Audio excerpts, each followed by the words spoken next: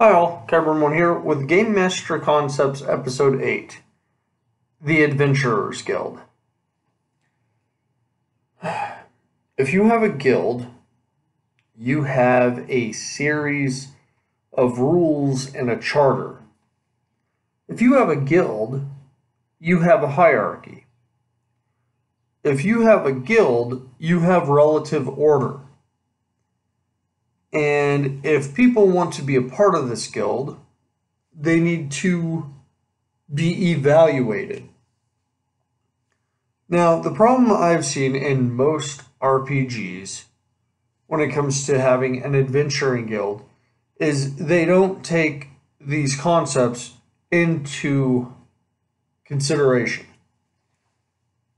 You it you have a quasi medieval setting in most cases being an adventurer is a privilege. Um, if you wanted to be a, a mundane individual, you could be a farmer, you could be a blacksmith, you could be any number one of these things that you decided to give up to go adventuring. Start your party off with an evaluator a, a small group of mercenaries that have a few levels under their belt and the mercenaries are there to protect and guide the new adventurers. Stuff happens, right? But being a part of a guild, you, you need to earn your stripes. Do not just hand players the gold. Do not just hand players the treasure. No, they belong to a guild and they are earning their keep initially. Right? They haven't proven their stripes. They haven't earned their they haven't proven their colors or earned their stripes is what I meant. By allowing a player to keep all the treasure that they've accumulated, you're denying the fact of the world. You want players to appreciate what they get. And even if all they get is a little experience, some money, and the knowledge that this little farmstead that they just saved, because they went into the goblin caves and cleared it out, with a higher level mercenary kind of watching and protecting them initially. If that's what they got, that was an adventure. That was levels above spending an entire day farming, afraid that a goblin was going to come in from that cave and kill their family.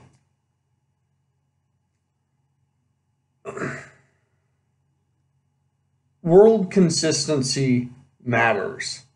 And the Adventurers Guild needs to reflect that. It. Look, man, you gave up farming. That doesn't mean nobody's above you anymore. People are above you. Otherwise, you wouldn't have to deal with society. If you're in a guild, you're a part of a society. Then, when they achieve certain ranks and privileges within the guild, they find out new things. They find out about competing adventurers guilds from other towns that take on more risky endeavors. They find out that the guy in charge of their adventurers guild uh, sent uh, the mercenary they grew to love away, and he might be in trouble now. Right? So then they're like, hey, uh, you remember Bob? Bob went over to uh, Eastvale, and Eastvale's about three days away. One of our affiliated adventurers guilds over there, um, uh, they had some dragon problem Uh, could you guys go check on Bob because we really need our master at arms back, if possible. Also, his wife's looking for him. Please bring him back before his wife comes back, please. Okay. If you have Bob, the Master at Arms for the guild, training these characters, making sure they are proficient at adventuring before they're left to their own devices, they are more likely to survive.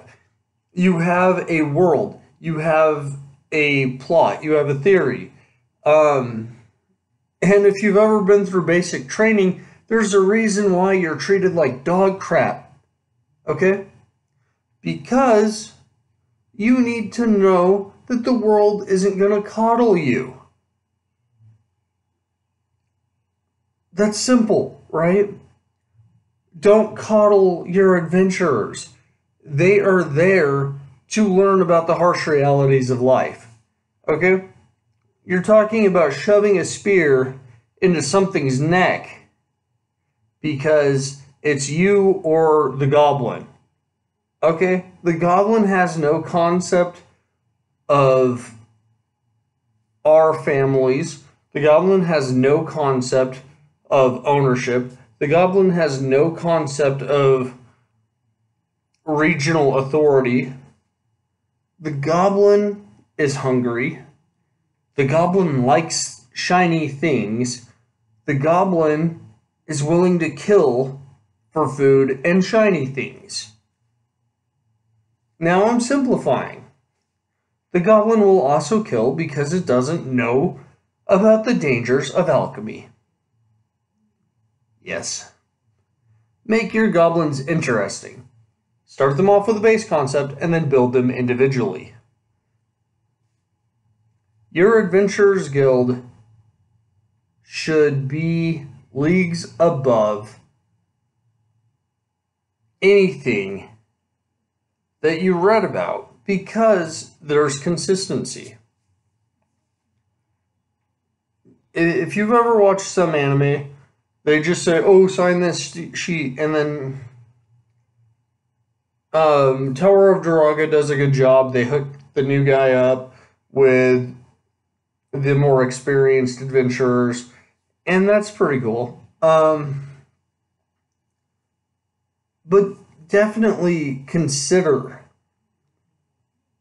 what would make the Adventurers Guild a more tangible reality for your world, especially. You need rules, simple rules. Okay? Do not overthink this because the moment you overthink, you can't act on the fly based on come up with a small charter of like eight rules. Right? Eight rules. And if your players break that tendency, mark it against their personal guild score, right? Definitely have an evaluation score. Uh, Final Fantasy VIII, uh, Quistis helped Squall through the cave on his test. And that to me was interesting because it's a survival evaluation. Therefore, the evaluator is also in danger. And that means everything. All right.